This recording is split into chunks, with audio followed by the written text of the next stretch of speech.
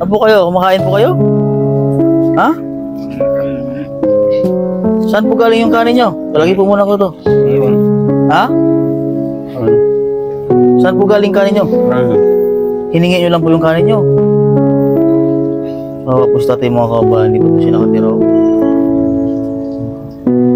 niya. Kumakain po, hindi mo mati siya balahin. Kumakain po si Tatay Ray. Kain po muna kayo tayo ha. Ang ulam niya po raw ay hiningi lang.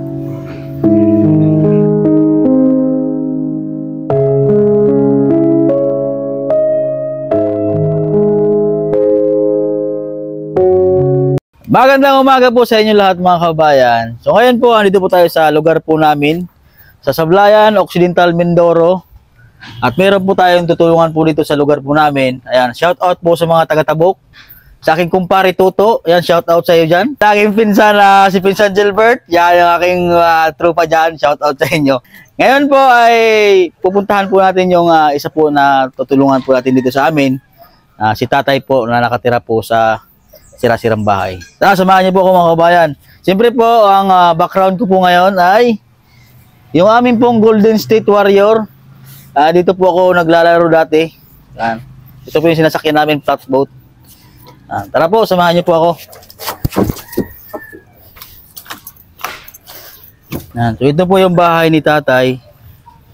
Yan. Umiinom po siya ng tubig tapos na siya pong kumain. Natay. Umiinom pa siya.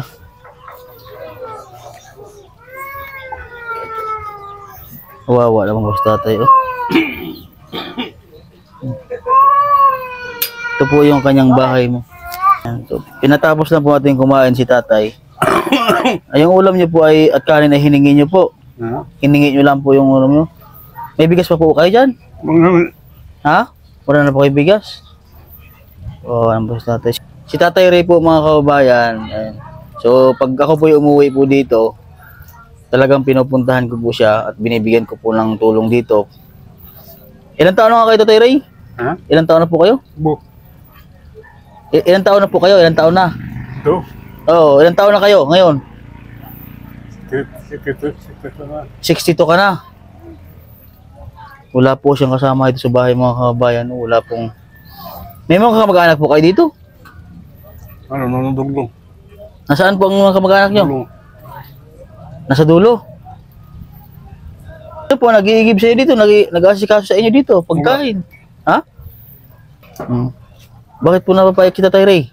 Ha? Ba't pa na pa napapaiyak? Kaya mga kaya, mga tanong tanong Hindi na. Tindihan. Ha?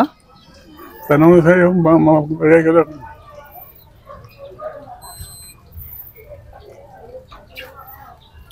Ilang taon na po kayo na-stroke, Tay? Yung mga tato, mga apat taon na to. 4 years na po kayo na-stroke. Hmm. Na, nakakalakad ba kayo hindi na po kayo nakakalakad? Hindi na. Ano pong ginagawa niyo pag kayo nag-asikaso dyan sa loob? Pagapang po kayo.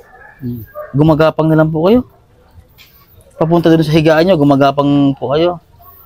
Ah, so yun po, lahat nung nakaraang pagbalik ko po dito mga kabayan, binilhan ko po siya ng mga damit.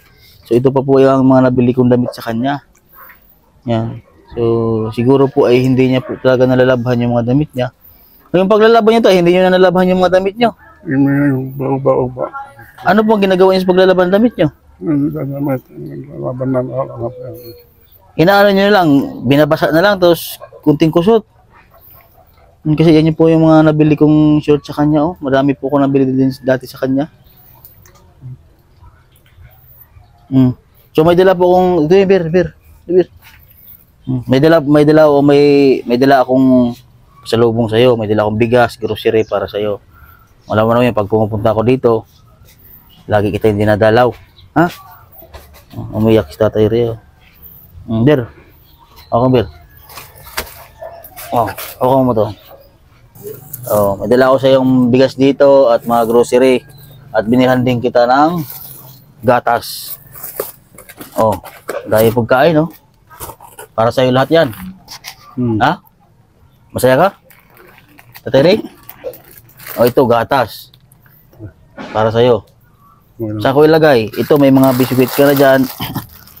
Para pag nagutom ka, kumain ka. Ha? Hmm. Saan ko nilagay? Mga biscuit, mga ulam. Saan ko ipatong? Yan, ilagay nila po natin doon. Saan bigasan mo? Doon? Hmm. Saan nilagay ito? Dito ko ipatong. Hmm. Dito na lang. Hmm. Dito mga grocery mo ha.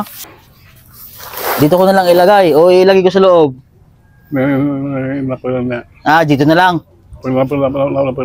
Dito ko ilagay na lang nga. Dito na lang. Ha? Hmm. Mapala. Okay na to dito. Ayos na. O dito. Dito ko ilagay. Ganyan. Ha? Ayos na. Hmm. Ito na po yung, yung bahay niya. Hmm. Wala na po kasi nag-ano sa kanya dito. Kakawa naman. Hmm. Wala pong pumupunta sa iyo dito mga kamag-anak mo? Ha? Wala. Wala nang pumupunta kamag-anak mo? hindi ka dinadalaw dito. Wala. Bakit bakit hindi ka dinadala ng mga kamag-anak mo dito? Oo, nga kanina. Ha? Yung kanina, may Dahil po sa kalagayan mo. Alam po ba nila na ganito ang kalagayan mo dito? kanina. Ha? Kanina. Kahit ano po, kahit kailan hindi po kayo dinala ng mga kamag-anak niyo dito. Wala. So pag umuwi po ako dito, ako lang dumadalaw sa iyo. Oo. Ha? Oh. Wala. Lagi mo pinapagdasal na pag ako umuwi dito ay dinadalaw kita. Ha? Hmm. Ah, wala naman.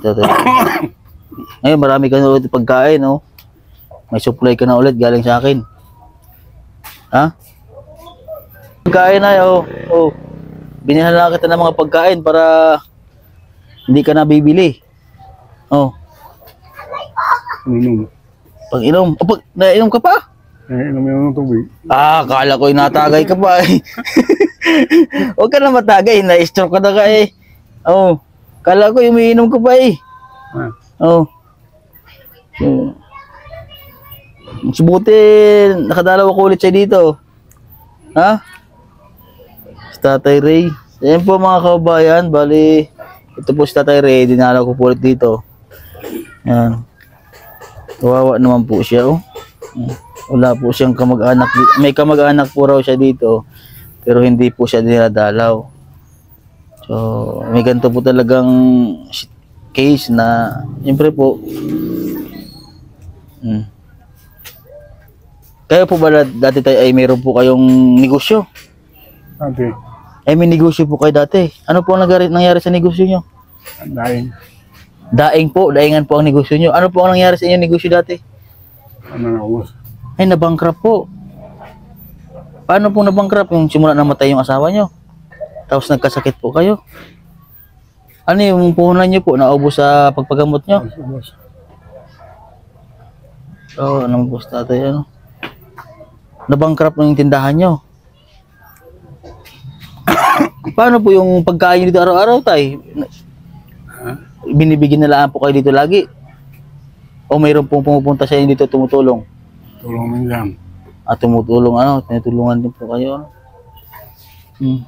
Yan, so yun po mga kababayan, Yan, si, si Tatay Ray po at ah, ah, ito po ay isa po sa aking tinutulungan dito sa amin. Yun nga, at uh, sa mga nais pong ibigay po ng tulong sa kanya, any amount po na inyong maibigay ay malaking tulong po yun. Ay message lang po kayo sa aking Facebook page, Mastering Ring Channel po mga kabayan. Sana matulungan po natin si Tatay Ray. So ayan po, ito na lang po aking vlog. Sa mga sponsor po natin, maraming maraming salamat po sa inyo. So ayan po, God bless po at maganda pong, magandang umaga po sa inyong lahat.